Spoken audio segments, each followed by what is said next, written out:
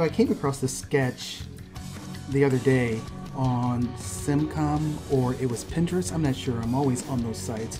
But anyway, I came across this and I thought it's uh, it's got a maturity about it that I that it spoke to me. So I wanted to use this model to illustrate building a model in ZBrush using the topology brush and progressing all the way to a finished sculpture.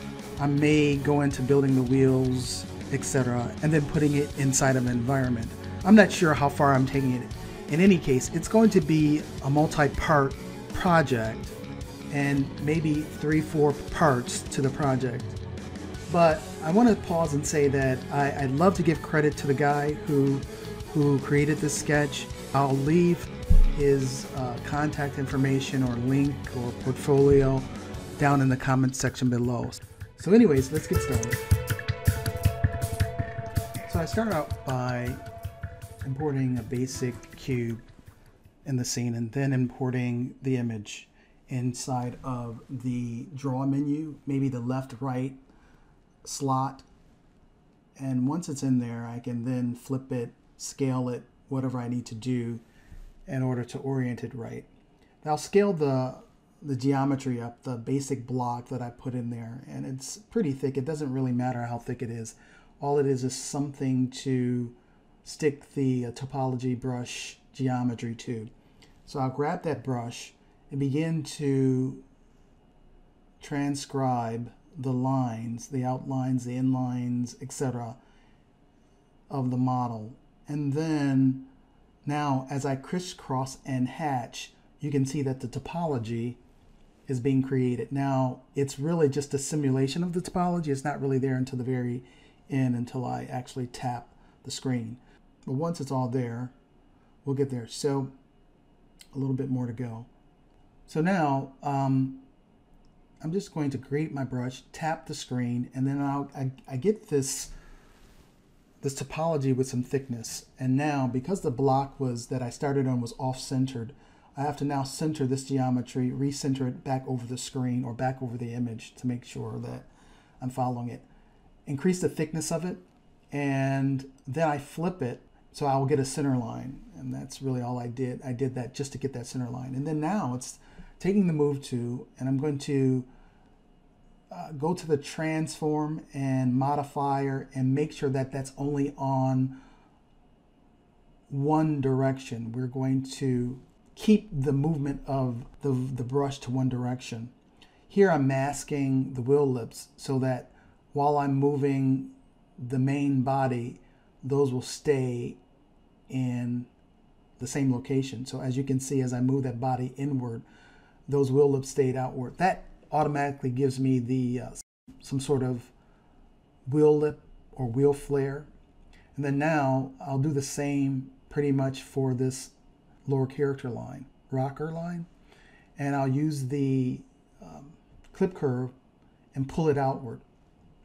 So that gives me the, the basics of uh, the form. And now just again, using the move brush and restraining it to the X direction in this case, Again, that's going to the transform modifiers menu and then constraining it to the axis that you need it. In this case, it's the X direction.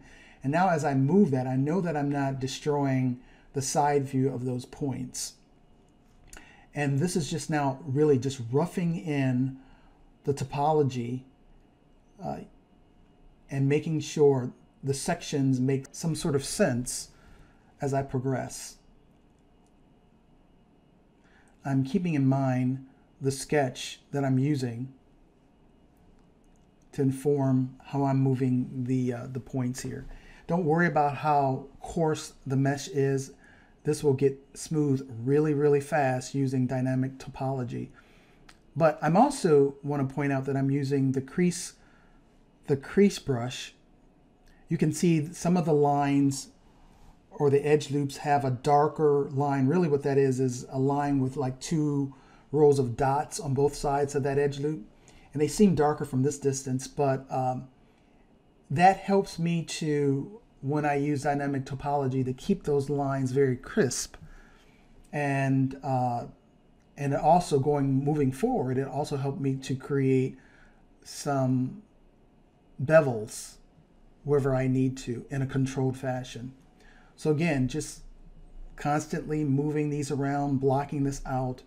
Uh, now this is dynamic topology and you can see how smooth it is. I'm going to actually take the dynamic topology upward, the smooth shader, so that when I smooth it, it's a little bit more smoother uh, than it was originally.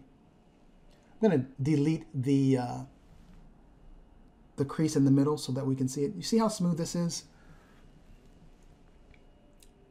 So still moving this thing around and um, just getting it just right. Putting a crease right in that lower character line so we can see that very clearly. And I'm constantly, again, moving it around so I can compare the line relationships of everything that's uh, relevant. Here, uh, I created another edge loop so I can create a, a lip around the wheel well and that can remain really hard so we can get that wheel lip just in there. You can see it's starting to take shape, that little flat. Just pulling everything. Back. I like using, I like ZBrush in this stage of modeling because using the move brush is so fluid as opposed to getting out um, a translating to which you can only move in one direction at a time usually and one point at a time, unless you're using some sort of um, fall off. But but this is so dynamic. It is so fluid. I love using the move tool and shaping these large polys. So we're approaching um, the end of part one, and uh, a little bit more of this as we move into part two.